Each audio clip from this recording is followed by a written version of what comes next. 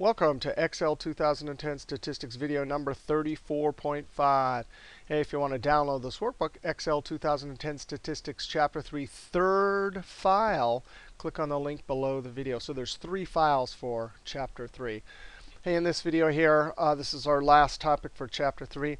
We have some autos here and prices, and we need to calculate the mean, median, mode, and standard deviation. But look at this. This column of numbers, usually we just calculate average, standard deviation, mean, median with functions and highlight the whole column. But wait a second, we need to isolate. So we need to do it just for Ford and then just for Toyota, Honda. Well, there's a built-in function for mean, average if. Now in this class we've done lots of count ifs, right? Sum ifs. So we know we can count with criteria. Well, when we're calculating an average, that's adding them all up, dividing by the count. So there's an average if. But when you get to standard deviation, there's no such thing as a standard deviation if. No problem. We can do something called an array formula. We're just going to put the if function inside the standard deviation function. All right. Now the first thing is, um, and not only that, but then we're going to do z-score too. And we're going to do something pretty tricky. We're going to have to do a two-way lookup to calculate a column of z-scores, right? Because when we do average or median or standard deviation, we're calculating what's called an aggregate number. So we take all the numbers, 1, 2, 3, 4 for Ford, and do some calculation. But when we do z-score, a z-score is a calculation on a particular value. So we're going to have to do something pretty tricky to get uh, a z-score if. Now, the first thing is I want to take this column and extract a unique list. In our statistics class, we call that a list of elements. So I'm going to highlight the whole column, including the label at the top. I'm going to go to Data, Advanced Filter. I'm going to say Copy to another location, the list range A1 to A15. That's correct. Criteria range, we don't need it because we're going to use that as our criteria, unique records only. And then copy to, I'm going to say right right there. And then click OK. All right, now I'm going to type mean, tab. I'm going to type standard deviation without a space. Let's say dv. I don't even know how to spell standard deviation. I hope that's it. I'm going to add a space and then hit F7 to spell check. No, I guess I didn't get a right deviation. All right, so I've spell checked it with F7 in uh, edit mode. Now I'm going to backspace. Now I'm going to tab, mode, median. Now I'm going to click in one cell and control asterisk on the number pad to highlight the whole thing here. Highlight all these cells, and since I'm going to put a calculation there, I'm going to put the color green. I always like to differentiate the cells with actual formulas and the cells with raw data. I'm going to change the column width there. All right, now for I'm going to actually make these really small just for the video. All right, so uh, we have a function for mean if, average if. The range, that's going to be with the criteria. I'm going to highlight that in F4 to lock it, comma the criteria right here, comma and the average range, that's with the actual numbers to do the mean calculation. I'm going to hit F4 to lock it close parentheses, control enter, and then copy it down. Oh, look, so, oh, me, Ford has uh, got a higher average cost than these ones for this particular sample here. All right, now standard deviation. We can do stdev dot s. This is a sample. That's an S uh, 2010 function, of course. The 2007 function is that one. Now normally we just highlight the whole column, but as we mentioned earlier, oh, that would calculate all the standard deviation for all the numbers, and that is not what we want. For Ford, we only want 1, 2, 3, and 4. So watch this. You just, instead of, over here we saw average if, well, there's no standard deviation dot s dot if, right?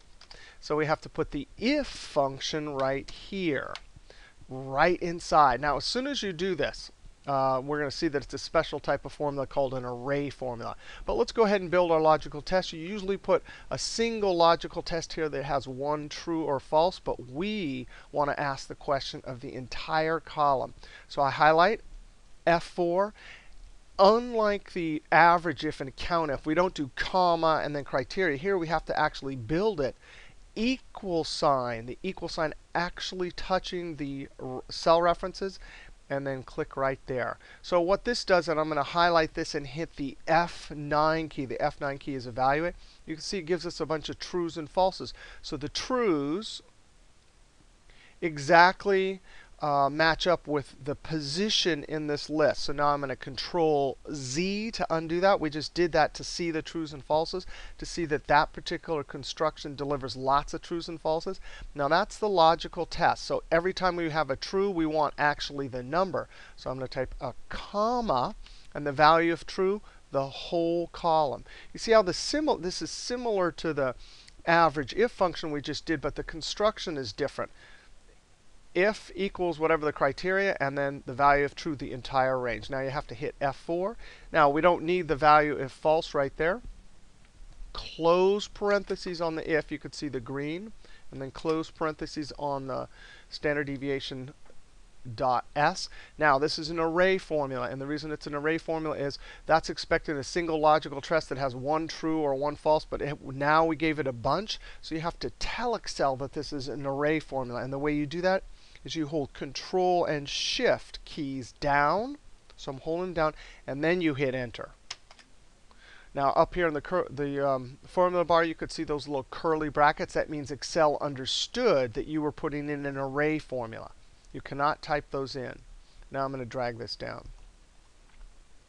Wow, look at the standard deviation for the Honda. Must be some gigantic Honda. Okay, so the Honda, there's a 16,000. Wow. So we could clearly see the standard deviation. The variation in the data points for Honda is much greater. We could see that this mean less fairly represents its mean than the other two. it looks like the Ford, the mean for the Ford more fairly represents its data points because the standard deviation is lower. All right, now I'm going to do mode equals mode dot single in 2010 function, it's mode.single, which means we just want a single mode. I bet you there aren't any here. If, highlight the whole column with the criteria, F4, use your equal sign. I'm going to say there's the criteria, comma, and then the value of true, all of these values. I doubt very much there is a mode. All right, now I close parentheses close parentheses. It'll just give us not available if there's not a mode. Now, Control Shift Enter. I see my little curly brackets, and I'm going to drag it down. We can see that if we did have a mode, that means two prices two prices are the same, it would deliver it. But no no problem. We want that. We want it to say, hey, there is no mode. All right, median. If so, the construction is criteria f4 equals the criteria, the actual single bit of criteria, comma, the value if true is all of the values, F4. Close parenthesis, we don't need the false, close parentheses on the median, Control Shift Enter, and drag it down. All right, so now I want to also show you a pivot table. The pivot table will not do this or this, though. It can only do mean and standard deviation. And if you want them all, um, and you're doing formulas anyway to get this, might as well do them all formulas like that. But I'm going to click in one cell, and I'm going to use the keyboard shortcut instead of insert pivot table, pivot table. I'm going to click in one cell and Alt NVT. I'm going to click existing sheet. I'm going to click right here. Click OK. Now I simply car type down to the rows. Sales once, sales twice. I'm going to close this field list. Right click, summarize values as average. Notice absolutely beautiful. Now I'm going to uh, click here and type mean. A little bit easier than the um, formulas. All right, and then here, right click. That uh, let's see, show summarize values as doesn't show you the uh, standard deviation here, but I'm going to click More Options, or you can go down to Value Field Settings. And we want pop the not the population one, not the P one, but the sample one. Click OK. I'm just going to put SD or little s. That's our symbol and statistic for standard deviation. So you can see we get the same calculations. All right, now I'm going to expand this column here. We're going to do something pretty tricky here. We're interested in mean and standard deviation when we're calculating z. So I'm going to put z score. Highlight here. I'm going to click that button and then click there. That copies the formatting. Now, normally what we do is we do this equals for z-score. We want to know how many standard deviations above or below the mean is this particular value. So I say particular value minus, and then you would have to take the mean for Ford. So you've subtracted it, right? Here's the actual mean, 24. We can see that this particular value is above the mean, so we'll get a positive z-score. But to standardize it, you divide by the standard deviation. Now notice what we're doing here. We'd have to create all these different formulas one by one because we had we don't know as we copy the formula down how to get the mean for Ford and the standard deviation for Ford. That's the calculation. Now that's formatting, so I'm going to come up here in general or Control Shift tilde or grave accent. It's the key to the left of the number one. Now we're going to have to do something to change this. Now, just look at this F2 right here. It is looking at the Ford mean. And this G2 is looking at the Ford standard deviation. So if there's a way to put something right there that could look something up. Because notice as we copy the formula down, it's our formula could be looking at Ford, Toyota, Honda. That could be the signal to go over to this table and get for Ford, if it says Ford here, it'll know to get the mean and the standard deviation. Well, that's easy enough to do. We can use the VLOOKUP function. Now, I'm just going to delete this, and we'll just see if we can use the VLOOKUP function get a formula, copy down, and look up the right mean depending on what's, what's in the column, the first column. Equals VLOOKUP. VLOOKUP is a lookup function. The lookup value where we're going to say, hey, VLOOKUP, look up whatever's is two cells to my left, Ford, comma. The table, that just contains our lookup values here, and the values to return either here or here. So I'm going to highlight this whole table. VLOOKUP, oh, let's immediately hit F4 because we need to, to lock that. VLOOKUP always looks for a match in the first column and then returns something from either the second or third column. The table is right there, comma.